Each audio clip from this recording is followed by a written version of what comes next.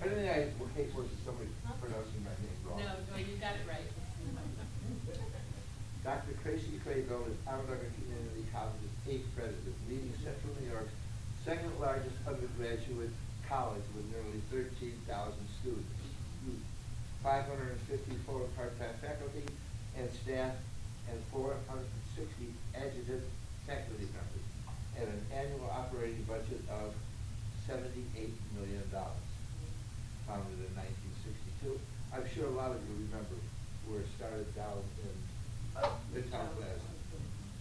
Okay, and what, uh, really a simple blessing it was for the people who had that foresight to say, we need a community college.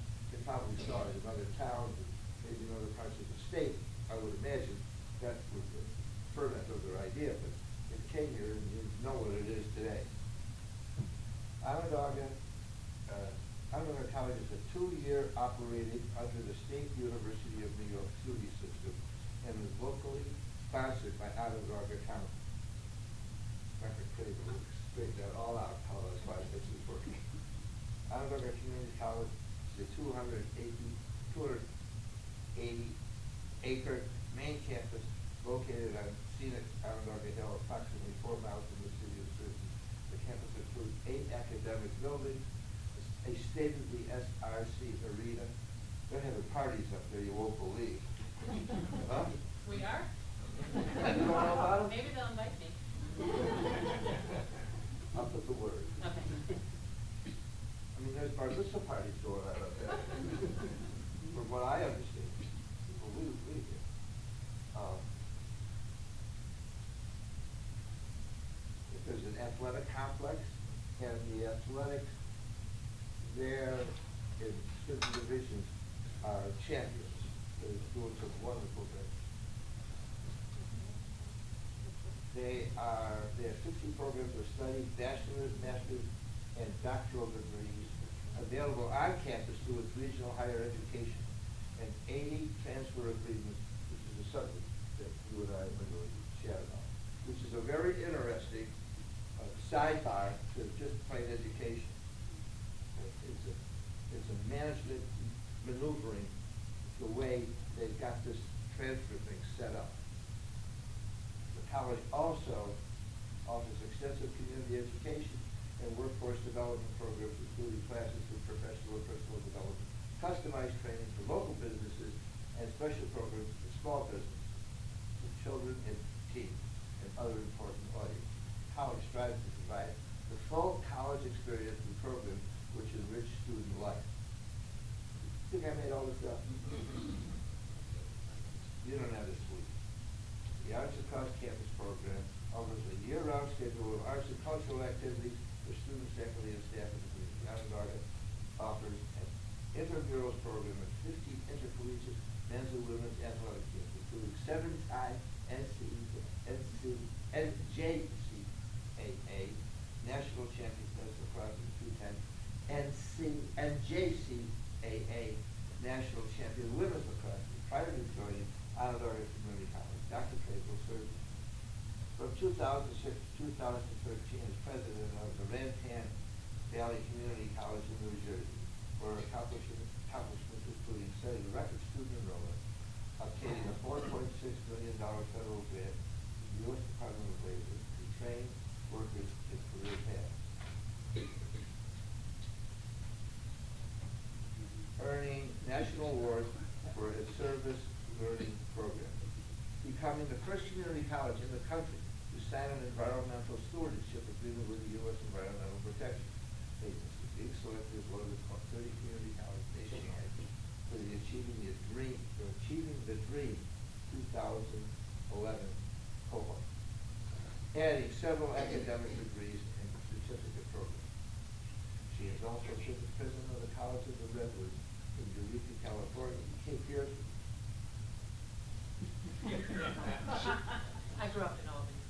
So you, you you, you, yeah, yeah, you.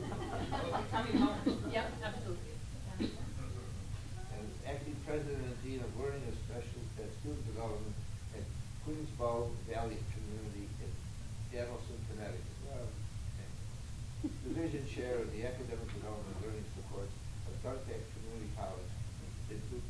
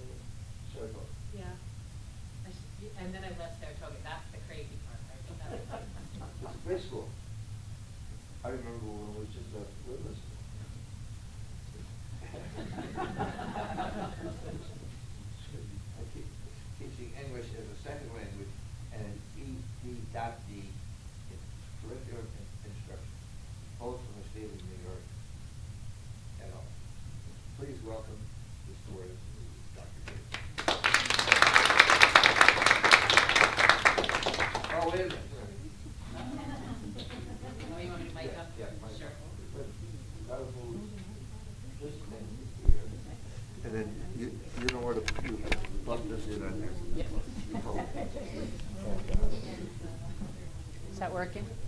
Uh, we take it for granted, sort of. Okay. Well, it's up to, to the Oh. system over there. TV land, hi. but- Good morning. Good morning.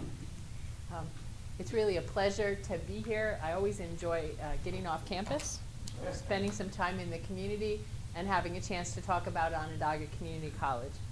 I'm really proud not only of OCC, but of the history of community colleges in the state of New York. And actually, my own personal uh, story is really, if I'd have to wind it back to the 70s to say, the opportunities that I had as a student going to Skidmore really started because when I was in high school, my mom went back to school at Hudson Valley, uh, which is a community college in Rensselaer County. When she finished high school, um, she wanted to go to college, but she may as well have wanted to fly to the moon. Um, there was no money for that, and so she went to work and never lost the idea that at some point she wanted to get some further education. So when the last of us went to full day school, uh, my mom announced at dinner it was her time, and uh, it's how I learned to cook. Uh, that was my job. I took over dinners, and she went to Hudson Valley Community College, where she became a registered nurse. And that changed what was possible for me and for my sisters coming after. It also changed how my mother thought about college and women. She had waited almost 25 years, um, and she was, um, can I say hell bent in this room? Yeah. She, she was hell bent that my sisters and I would not wait 25 years, that we would get off uh, out of high school, go straight to college. And, and I see that phenomenon every time I have a graduation at a community college. I see a family changing positions. And what I've learned over time is that community colleges help families to move ahead and families don't go backwards. So that gets me up every morning, gets me going to work, makes me very proud of the work that community colleges do. And I really thought I would start by um, sharing with you um, a little bit about OCC. You got some good information in the introduction, um, but I find that unless you've been to a community college or somebody you know has, sometimes they're kind of a mystery. So I wanted to talk a little bit about our mission, what we do, um, what kinds of programs we offer, um, and why, and then save lots of time for your questions so that I make sure I talk about the things that brought you out here this morning. Um, as was mentioned, we're almost 13,000 students. Um, that includes students in our local high schools who may be taking a course to get ahead. Uh, almost every high school in Onondaga County participates with OCC so that those students in the 12th grade who are ready to go but are still finishing up high school can, within the day, within their high school, take a college course. Um, they get the credit transcripted and they can take it with them, whether they come to OCC or go to Oswego or SU or anywhere else. And we do that because we believe it helps students get ahead. It helps high school seniors uh, practice the kind of skills that are going to be necessary in college to learn a little bit about what that college classroom feels like because it is a little bit different. And sometimes left to their own devices, we know high school seniors can skate a little bit.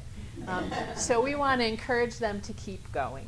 Um, so within our 13,000 students, there are about 1,800 high school students that are taking a course, sometimes two, sometimes as many as three over the course of their high school experience. We are the second largest college in central New York. SU is a little bit bigger. Um, I won't get too competitive with SU, but you'll notice when you look at the landscape of Syracuse, they're on one hill, we're on the other. So. Um, and we get our uh, local operating support. We get a, a generous uh, support from Onondaga County, and they just passed our budget yesterday, so I can say that they've done that for another year. Um, we also are funded through the State University of New York, and we have what I think of as a kind of a three-legged stool funding. So a piece from the county that sponsors, a piece from the state of New York, and a piece from student tuition. Way back in the day when the law was passed to form community colleges, uh, the law said that those should be about a third, a third, a third, kind of evenly split. Um, it doesn't quite flush out that way at this point. Students are paying about 60% of the cost.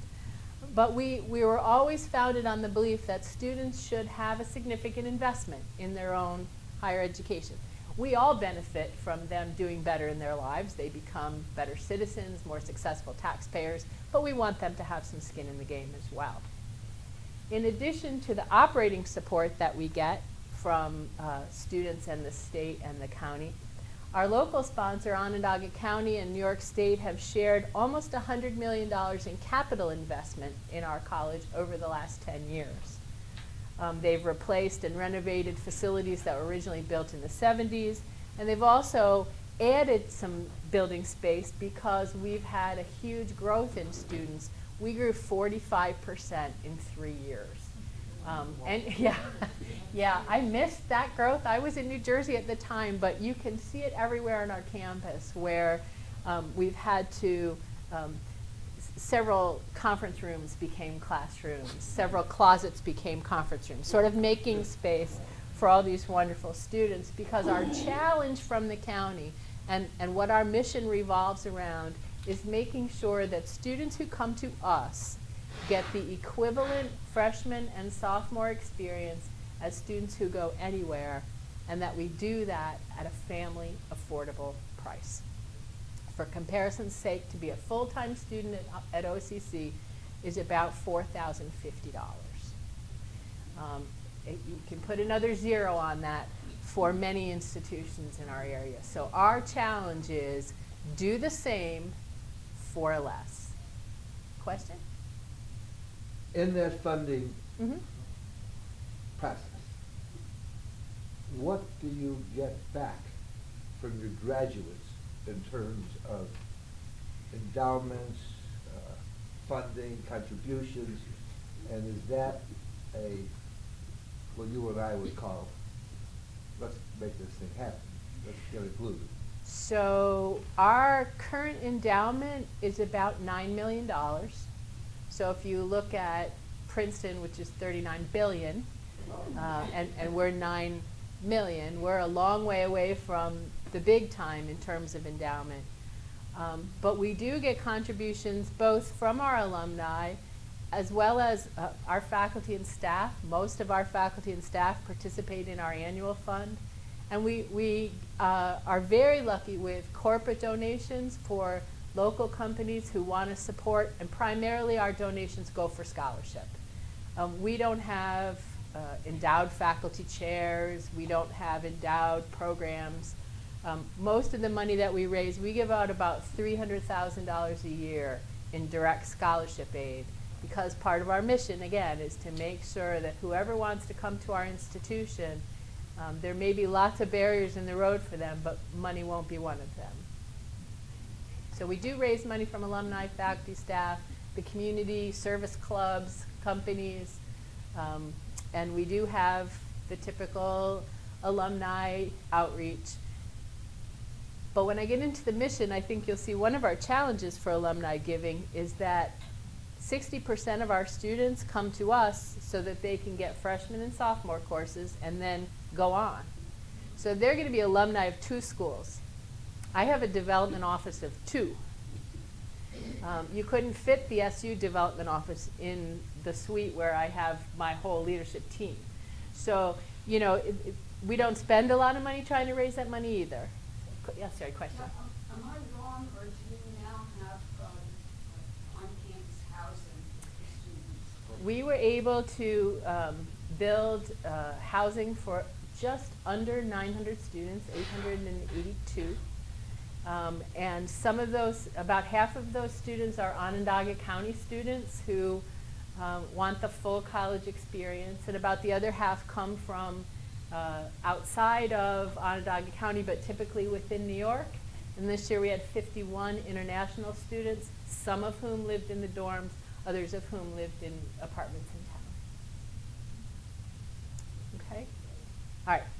So um, I want to talk about our mission, which is really in four parts. And I think if I do this, it'll help you kind of figure out what it is we do and why, and maybe what we do that's interesting to you that you'd like to come over and be part of. Probably the thing people think of the most is our transfer mission. That's where we provide freshmen and sophomore, typically what you would think of as general education courses for students who intend to then take those credits and go to another institution for a bachelor's degree. As was mentioned, we have about 80 uh, transfer agreements. Those are signed agreements where we go to the four-year school, we have them review our courses, our syllabi, our faculty, the expectations, and they sign agreeing that English 103 will transfer to them as English, whatever they call it. And this is a tool we use so that students can understand if they come to us and they want to go to Clarkson, we have an agreement that shows them exactly what you take if you want to go to Clarkson. Same with Oswego or Cortland or SU or Le Moyne or you know the other 76 places where we have signed transfer agreements. That doesn't mean those are the only places that students can go.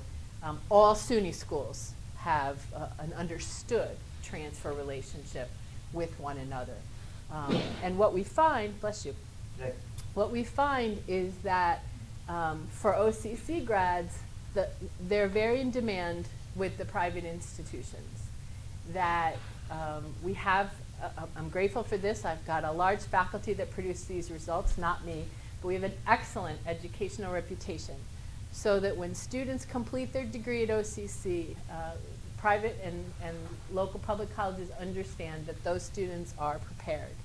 And if you look at the research on our graduates, and we track them after they leave us, um, if our student transfers to, say, SU or Oswego, they have the same chance of graduating from that institution in the same time frame with the same kind of GPA as if they had started there at the beginning.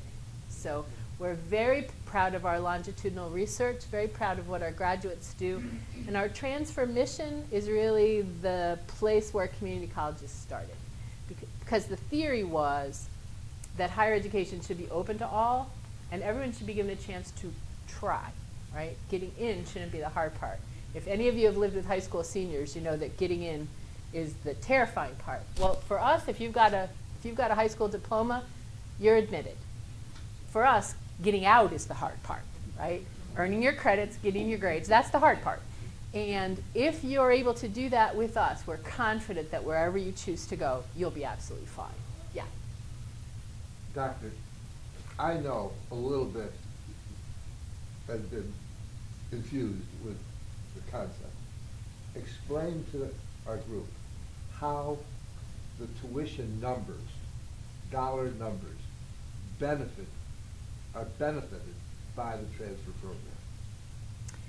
So if you can imagine, let's say you want to go to, I'll pick a reasonable alternative. Let's say you want to go to Oswego in high school. And uh, we won't even put room and board into it. We'll just look at tuition. You're going to pay north of $9,000 a year in tuition and fees to go to Oswego. You're going to pay 4000 to come to OCC. So your first two years essentially are half price. If you, if you want to go to SU, yeah, you're going to pay $38,000 for your first two years. You're still going to pay $4,000 at OCC. So you can see we've got a whole bunch of students um, who, I'll tell you a story actually of a kid from East Syracuse Minoa School District. His name happens to be Casey, so he and I got along really well. Um, he was vice president of the Student Association, and when he came in this spring. He was excited. He'd been accepted to SU in Cortland. He wasn't sure what he wanted to do. He wants to be a history teacher or maybe a biology teacher, but definitely a teacher. And he was trying to figure out what to do. And I said, well, well, how did you think about how you started your higher education journey? How did you get here? And he said, well, over the course of my life, I love this, they're like 19. Over the course of my life, my family and I had saved about $11,000 for my higher education. And I figured out that if, if I came here and I had a part-time job and I asked my grandparents for books for my birthday and Christmas, that I could leave here with about $8,000 still intact and I'd have that to go toward my bachelor's degree. Great, great kid. Um, we have, we have kids who think like that, kids who understand that uh, it isn't free and that it's a serious business and that they need to think through. And, and so we get a lot of folks who, uh, who come to us first because of that. We also get a lot of kids who come to us second. These are students who got into uh, a college that they thought sounded great, um, two or three hundred miles away from home, and they got there and they weren't ready. Sometimes they weren't ready and they were homesick. And sometimes they weren't ready because they discovered beer. And sometimes they weren't ready because they really needed someone in their corner encouraging them every day to, you know, get up, get going, get your work done, remember the skills that you have. So we get a lot of kids who come to us second, and those are the ones that break my heart because those are the ones that are already kind of behind in paying for things, right? Typically they've taken a loan or they've spent a year of financial aid and they don't have the resources that they started out with. So I spend a lot of time with high school parents trying to explain what I think of as a value proposition, wh what it is you can accomplish by using us as part of your higher education plan. There are some parents who worry that doesn't sound really good in a cocktail party to say, oh yes, Johnny's graduating and he's off to OCC. But I can tell you four years from now, when that kid's graduating with a bachelor's degree debt free, which is our goal, get the students through debt free, that the cocktail party conversation changes quite a bit. So for our transfer students, the value proposition for them is threefold. Number one, you go to a large university. Who teaches the freshman and sophomore level classes? TAs and graduate students, right? They're practicing on you. You come to OCC, who teaches the, the classes? PhDs. I mean, it's a completely different experience. And the PhDs who work at OCC are people who want to teach. Do some of them do research? Sure, but it's not their driving force. It's not what gets them out of bed in the morning. So you have real faculty focused on you in classes of not 400, our largest class, 35. So close up education this is why students who might have struggled in high school can be wonderfully successful at OCC. They've got the attention of people who do this on purpose. So that's one reason. Second reason transfer students experience a good thing is they're typically not in debt. And if they're working to pay for their, their higher education, they've got a shot at making enough money to pay $4,000. It's very difficult as a young person to get a job that'll help you pay the tuition of a, of a, even a state-sponsored four-year institution. And the third reason they come to us, and this is my favorite reason, is that coming out of high school, they may have been able to get themselves into uh, a somewhat competitive school. If they come to us and they establish a good track record, I, I just sent a young student, well, she's young to me, she'd say she was non-traditional age. She was 30. Uh, she's going, she, she could have gone to, you know, she probably could have gotten into to Oswego or Cortland when she went back to school. She went back to school after she had her first child.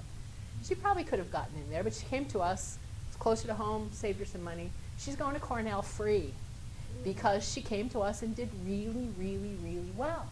And because we can focus on you, because we have the faculty that are focused on you, they help our transfer students make those kind of connections. So the money's a great benefit, but so is the education and so is the network. And, and so that's what we do with transfer students.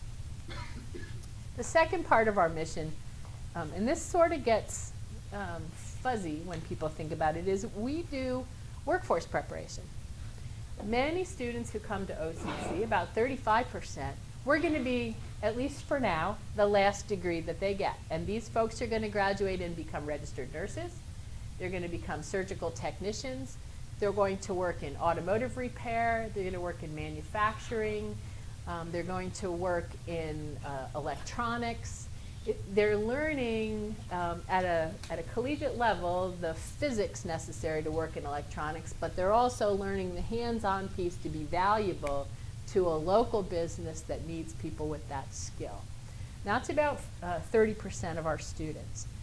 And for those students, same price, same small classes, same faculty who teach first, but those faculty also have the critical component of industry experience.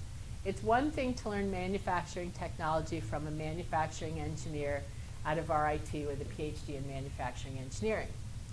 It's another thing to learn manufacturing engineering from somebody who also has a graduate degree but has worked five years or 10 years on a manufacturing line in a local company because they bring the real life experience, the same with our nursing program. All of our nursing program faculty have nursed the floors in hospitals. So they bring that practical experience to our students.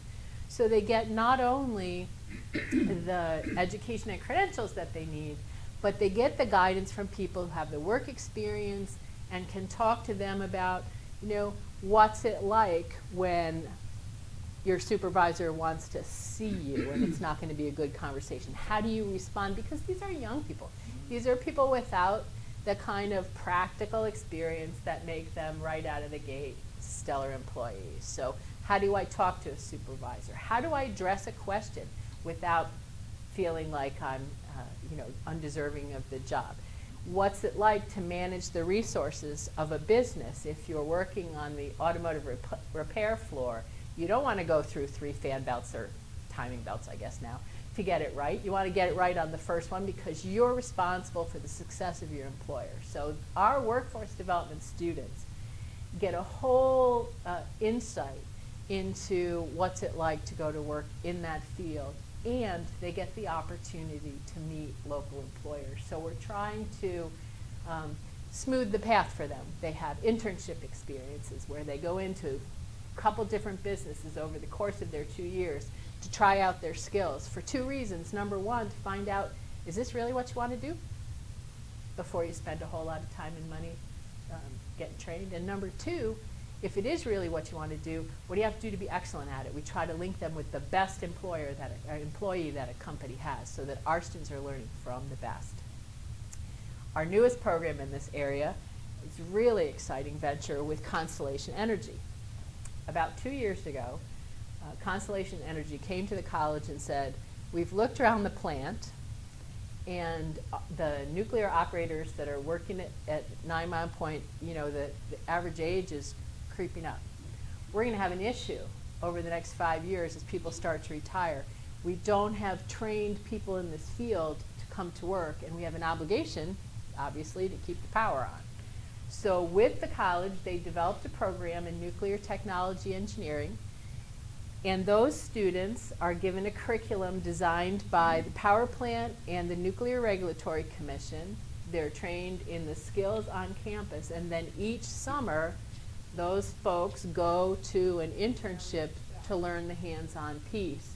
And what Constellation said to these students is, if you finish this program, we will hire you and you will start at $65,000 a year. So, you know, that's really for somebody who wants a good job, a local job, a skilled job. A, you can't outsource that. It's going to be here for a while. Um, th that's a great opportunity. And what we've seen in that program is so many of our veteran students coming back with the kind of technical skills that make them a great fit for that program. So our workforce development programs Little different from transfer in that students have a different intention. Little different from transfer in that we make sure they get the hands-on throughout the program so that they have some skills to offer when they're finished. Um, same class size, same level of faculty involvement, and we think same uh, financial benefit. So that's the second part of our mission. third part of our mission goes back to what I said to you earlier, which is if you have a high school diploma or the equivalent, you're admitted. Period, no questions asked. What we've found is that doesn't necessarily mean that you have enough mathematics skills or enough English skills to really be successful. So some of our students have to participate in, we used to call remedial, now it's called transitional. When I started in, it was remedial. But educational programs that get you ready for college level work. And we've seen, for example, with some of the students coming uh, out of the military, that they have good technical skills and they're real interested, but they haven't had a math class in four or five years, so some of that's rusty. Some of those students start and we provide catch-up, catch-up math, catch-up reading, catch-up writing to make sure that students have the kind of skills that will allow them to enter into the curriculum that they selected, do the kind of work necessary to succeed in college. Um, we also provide wraparound services, so while we don't have remedial physics, I'm not even sure there is such a thing, um, we do have physics tutors. So if you come in and you really want to do this and you're willing to put the time and attention in, we provide you the support because that's part of being an open admissions school. We say everybody should have an opportunity. Well, it's not a real opportunity if there's no way for people to uh, get some help in building those skills. So remedial education is the third component of our mission. Um, last, I'm going to get you the number because it was sort of mind-boggling to me. Last semester, we had 2,944 students taking some kind of remedial course. So it's a pretty big percentage.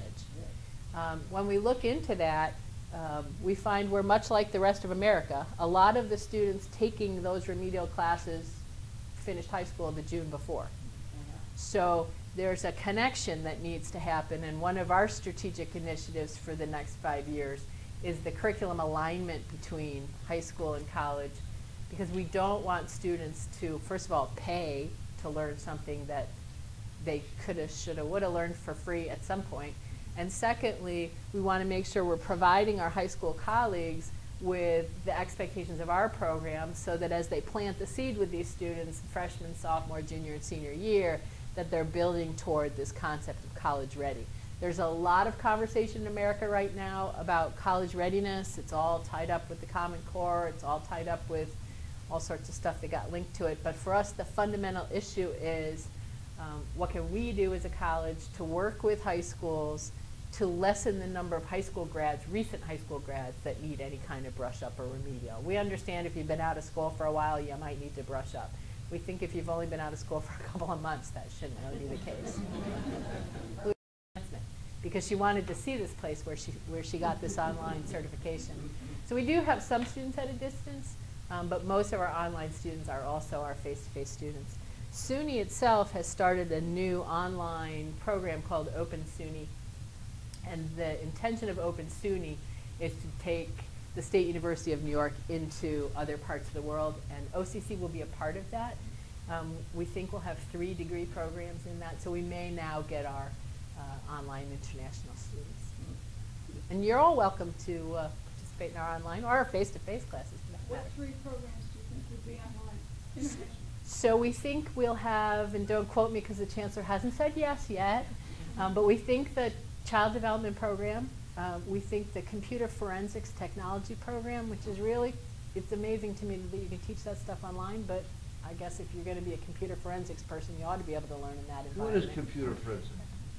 Hmm? What is it? So computer forensics In is. two hundred words or less.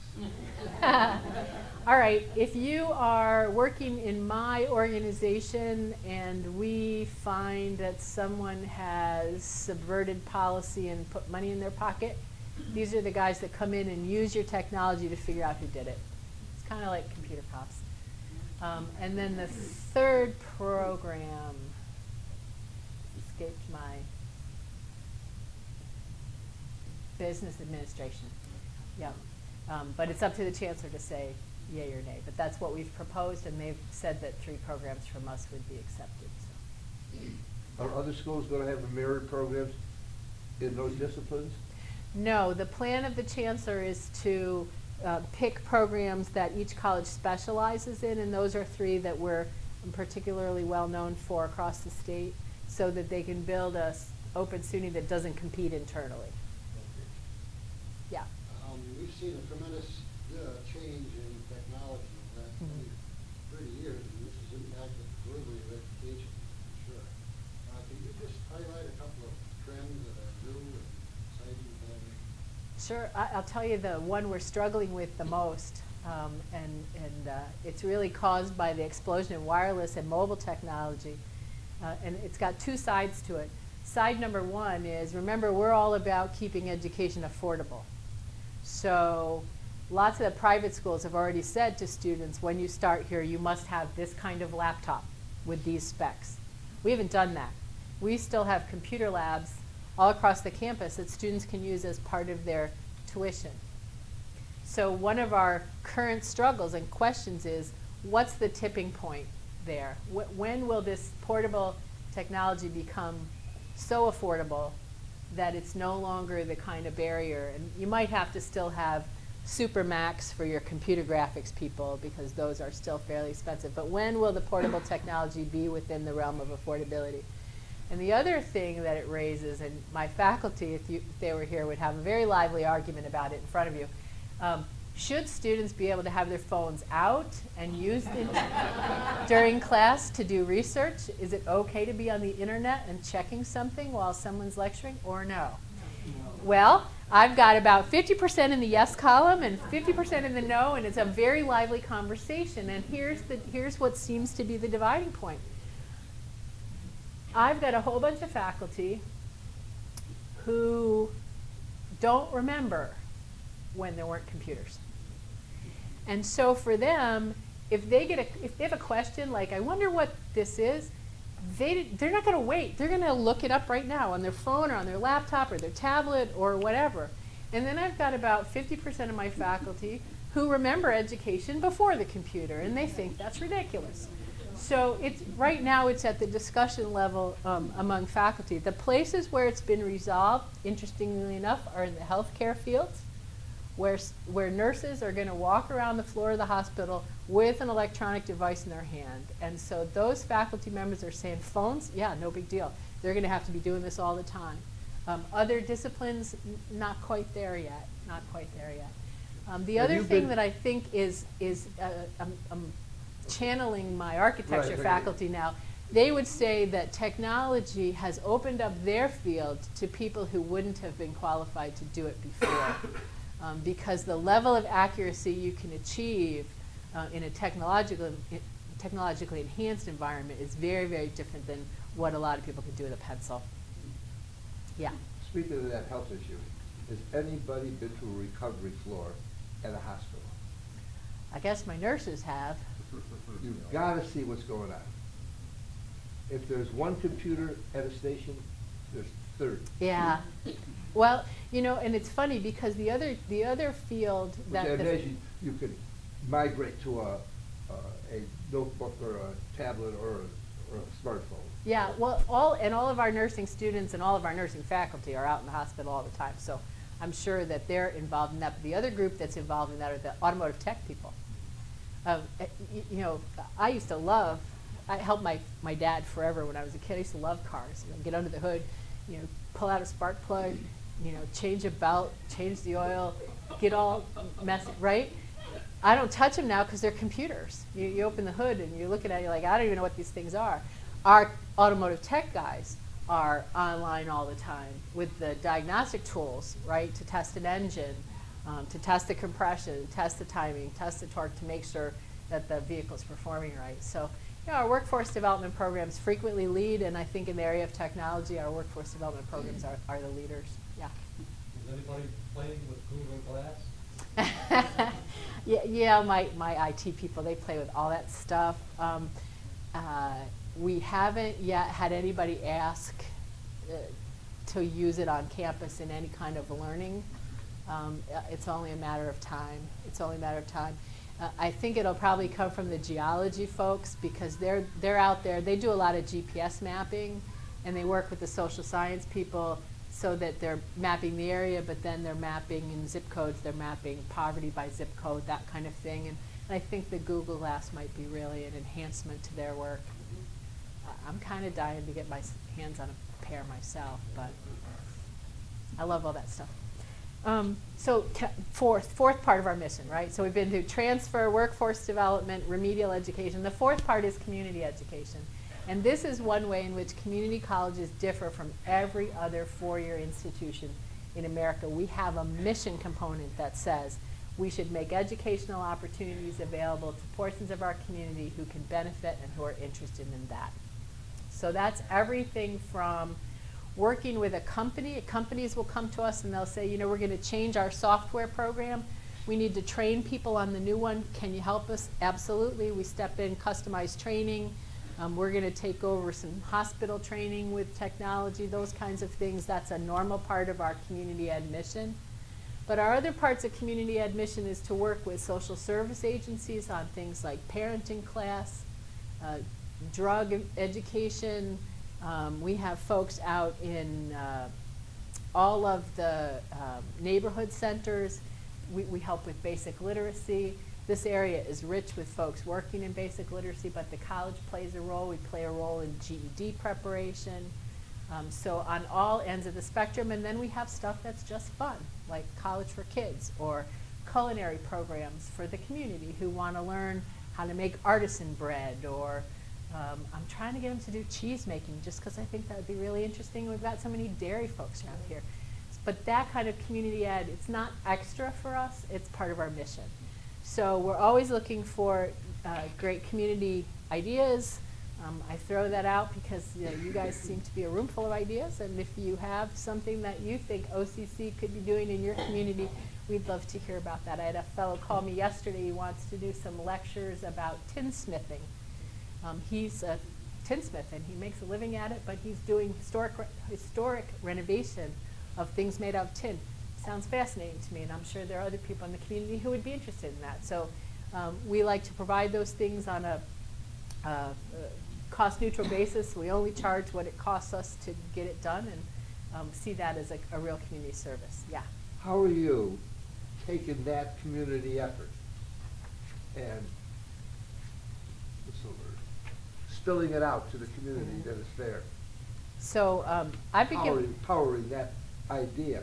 I mean, I understand Casey Crabill going out and speaking to thirty people, thirty-five people in a room that are not immersed in a daily economic, financial endeavor. But are you there to speak to the Kiwanis Club, the- the Oh, yeah. Rotary Club, and those? Oh, yeah. I eat a lot of Rotary lunches. Yes. Um, meet, meet with people. Yeah, I in- understand, uh, but. I'm sure you get my drift. Sure. And, and um, I don't currently have a staff member who has that job, but I have an executive team and we all share that. So we're all out all the time talking with folks. Pursuing it. Mm-hmm, yep, yep. And, and a lot of people um, bring stuff to us. And some of it is uh, just the germs of a great idea. Um, and some of it is stuff like probably bigger than the college can handle, but we're happy to be a part and maybe help look for partners that can get it done. Um, when I when I got here, one of the things the county said was, you know, we have this jazz fest, and it used to be at the college, and it was great at the college, and then we had some construction, I guess, it couldn't be at the college. Could we bring it back to the college? Sure, sure. That's a that's an example of you know we're we're a facility that belongs to the county, and we're we're happy to welcome things like that on campus. So It belonged there. well, and it'll be good. It'll be good. And uh, July 11th, weekend I thought it after was the the week, I thought it was the eighteenth. no, it's the weekend after the 4th of July. And Frank is getting everything he wants. Oh heck no. Go ahead. I understand part of the outreach is that, that uh, seniors can audit courses here, is this correct?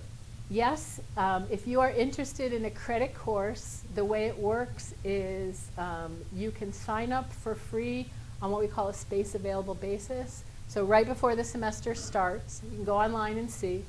Um, or if you uh, if you're uncomfortable in an online environment, you can call our registration folks, and you can take a course uh, for free on a space available basis. Yep. Yeah. How are you into it? excuse me, how do you interact? So BOCES and the college are great partners, and we have a couple of programs. Sometimes I have a feeling the programs you offer plus the program BOCES works would be together. Yeah, we do.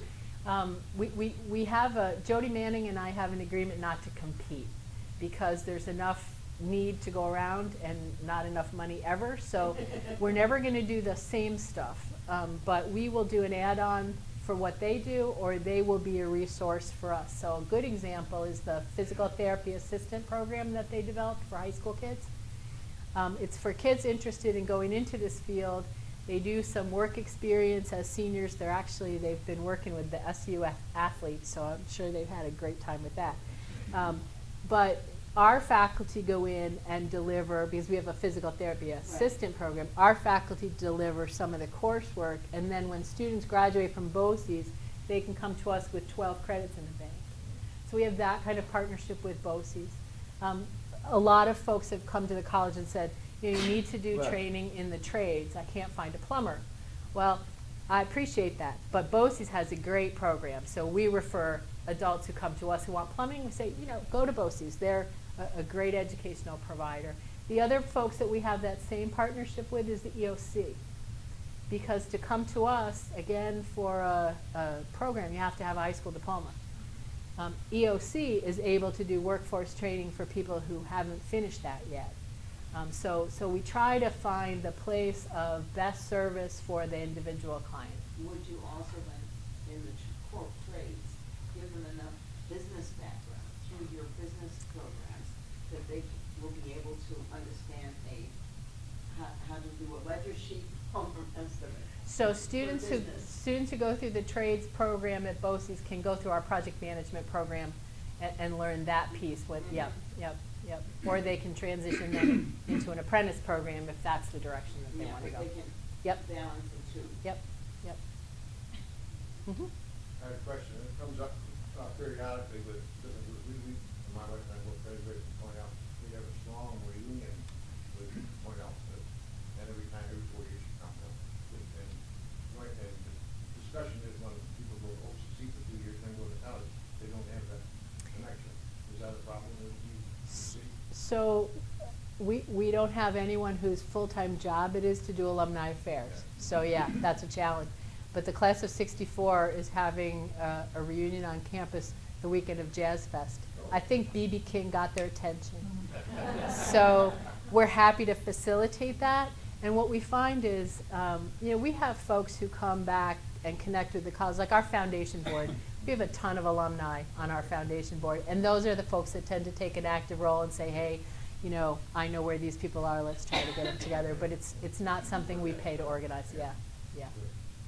Yeah, What percentage today, uh, faculty are full-time versus adjunct or part-time? So, the way I look at that is when I look at a schedule and I look at the number of sections, right? So what percentage of our sections are taught by full-time people as opposed to part-time people is about fifty-three percent full-time and forty-seven percent part-time. What do you want?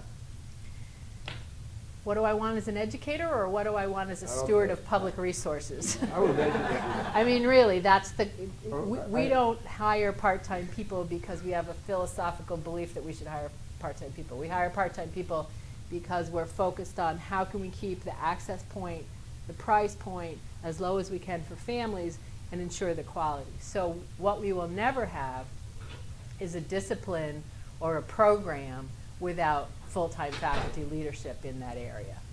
Um, But when I look at thirteen thousand students and an English department, in order for me to have what I would consider, uh, you know, a high-end faculty, full-time faculty, I, I'd need to triple the size of my English department, and that, you know, on, on the face is not affordable.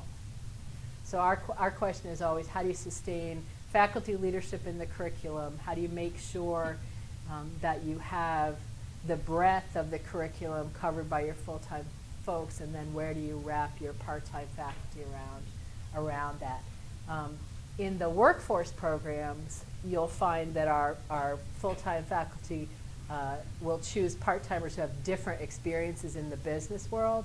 So in our uh, mechanical technology, you might get somebody who's a fabricator and somebody who's a machinist and somebody who's a tool maker as part-time faculty.